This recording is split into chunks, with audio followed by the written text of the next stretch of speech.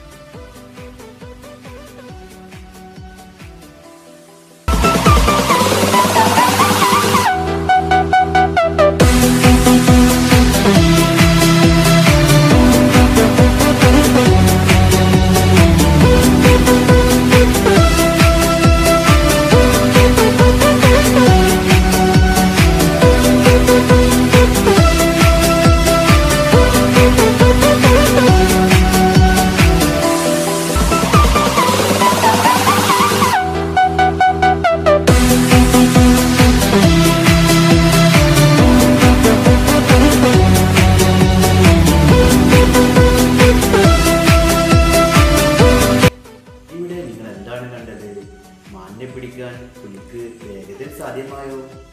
മാനിന് ചുറുചുറുക്കുള്ളത് കൊണ്ടാണ് പുലിക്ക് പെട്ടെന്ന് പിടിക്കാൻ സാധിക്കാത്തത്. എന്നാൽ ചീറ്റ ചീറ്റപ്പുലിക്ക് കൂടുതൽ ചുറുചുറുക്കുള്ളത് കൊണ്ടാണ് മാനിനെ പിടിക്കാൻ സാധിച്ചത്. എജിലിറ്റി ചുറുചുറുക്ക്. ചുറുചുറുക്ക് എന്നാൽ എന്ത്?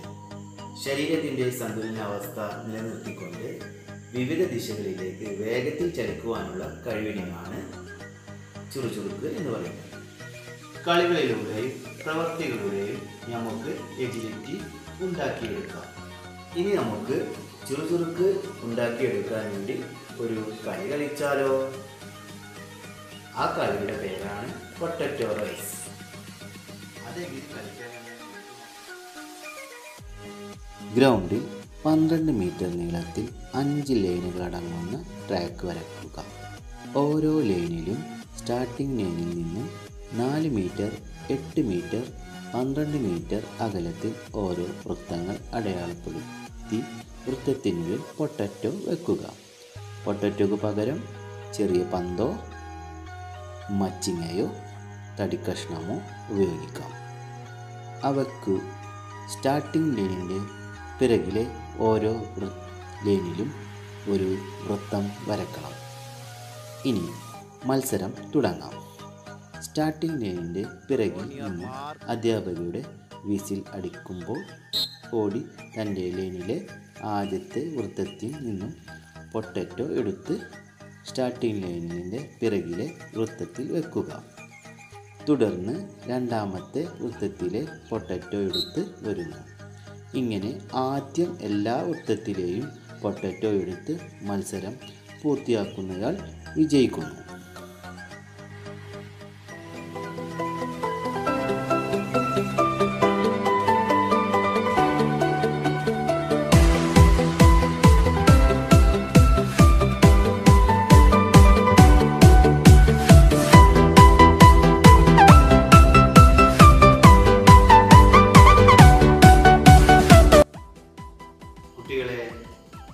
എന്താണെന്ന് മനസ്സിലായില്ലേ? അപ്പോൾ എജിലിട്ടുള്ള മൃഗങ്ങളെ പേര് പറയാമോ? ചുറുചുറുക്കുള്ള രണ്ട് മൃഗങ്ങളെ നിങ്ങൾ വീഡിയോയിൽ കണ്ടല്ലോ. പുലി മാൻ വേറെ ഏതെങ്കിലും മൃഗങ്ങളുടെ പേര് നിങ്ങൾക്ക് പറയാമോ? യെസ് മുയൽ എലി പിന്നെ നിരവധി കുറേ നമ്മളെ ചുറ്റുപാടും കുറേ എജിലിറ്റിയുള്ള മൃഗങ്ങളെ നമുക്ക് പറയാം.